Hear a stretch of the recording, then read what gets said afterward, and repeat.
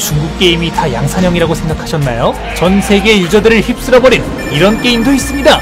오늘 소개할 게임은 신의 한 수입니다. 기획이 시작하는 순간부터 인기를 얻을 것이라는 확신이 들었죠.